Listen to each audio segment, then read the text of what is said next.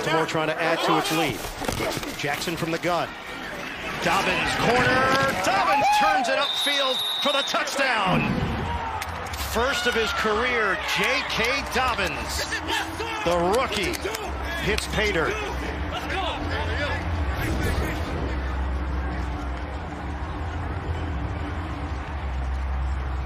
Kind of sense the flow going the other way. And then Dobbins, and you asked what he brings to the table. You see a little bit of that speed as well.